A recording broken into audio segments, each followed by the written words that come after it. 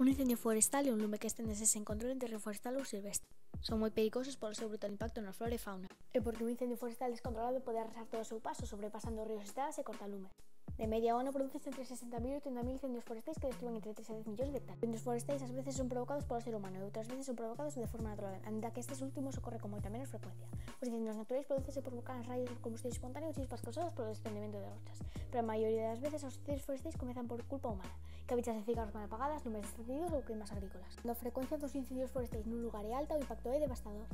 Interrompen sus ciclos naturales de los bosques y desaparecen las especies nativas mientras que proliferan las plantas invasoras.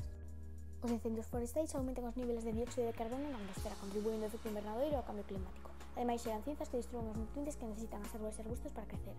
Por último, os incendios forestais nas zonas boscosas do planeta erosionan o chan propiciando inundacións e corrementos de terra. Se detectas un incendio forestal, chama o número de emergencias de inmediato. Isto axudará a extinguir o lume con máis rapidez.